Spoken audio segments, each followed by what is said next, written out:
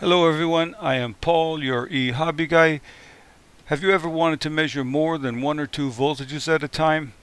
You can build this 4-channel voltmeter very inexpensively for less than 25 US dollars and I'll show you exactly what to do and exactly what you need. So stay tuned, let's jump right in. So here's a look at the circuit.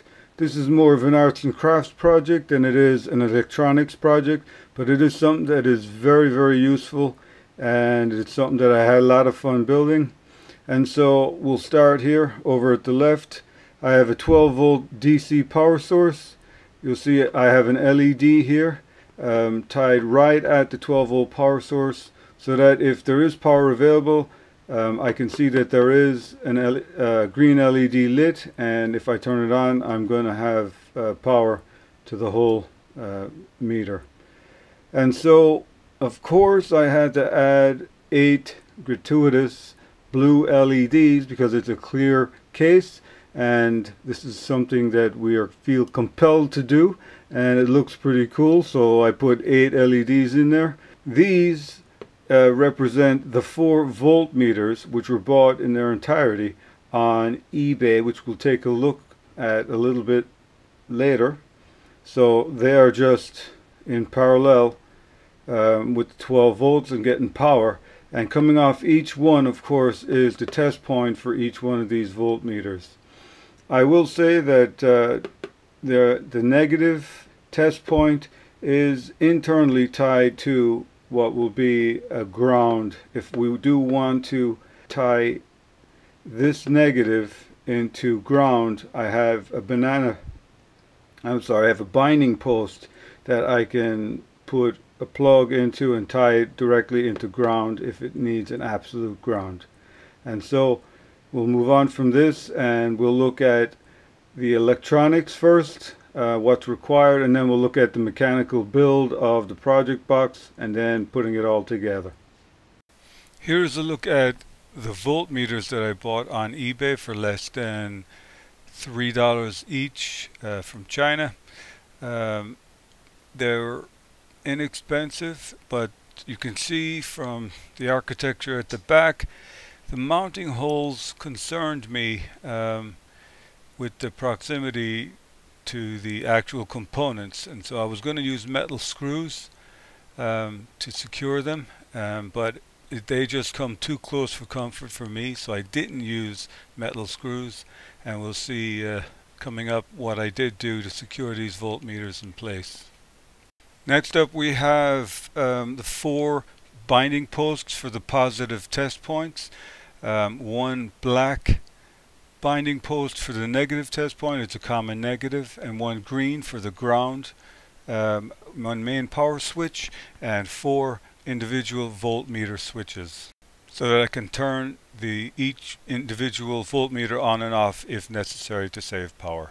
I also made five test leads, four red, one black with mini grabbers on one end and banana plugs on the other, all to be used as test leads. Now looking at the project box, this is um, a clear box with one end that's removable that I found at the container store for $4. It's 3 inches by 3 inches by 4 inches high and worked perfectly for this project. Before we work on the project box, I had to get some wood to frame out the voltmeters and so I made a little framework with this piece of wood which was a quarter of an inch by 3 sixteenths of an inch and it looks like this um, so I just measured the inside of the box and the size of the voltmeter displays and I glued it together with regular glue. Uh, there's no rocket science to that. I did want it to look better so I just spray painted it white.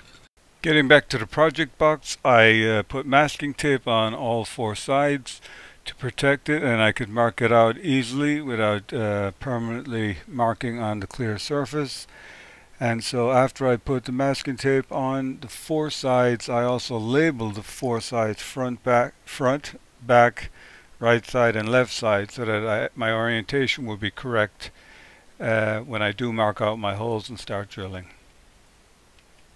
And so I marked the left side for a binding post for the negative and the ground and the right side for four switches and four binding posts and I label them B for binding post and S for switch. I also marked the top for a main power on off switch. And so now it came time to drill the holes. So I drilled 5 16ths of an inch for the binding posts or 8 millimeters and I drilled a quarter inch holes or 6 millimeters for the switches. One thing I do have to point out here is that when I did drill the holes right when I burst through the other side it did tend to pull the drill bit forward and mark the inside of the case um, and so care should be taken here. So I'm just testing the um, hole size for the switch and as it turns out the thickness of the wall was too much and I didn't have enough threads to tighten the nut. And so there's actually two nuts that came with the switches so I removed the internal nut and uh, it allowed me a little more space to thread on the outer nut and that worked out just fine. The binding post fit just fine also. To temporarily hold the voltmeters to my wooden framework, I dotted them with some crazy glue or super glue to hold them in place until I could more permanently bond them to the wooden frame.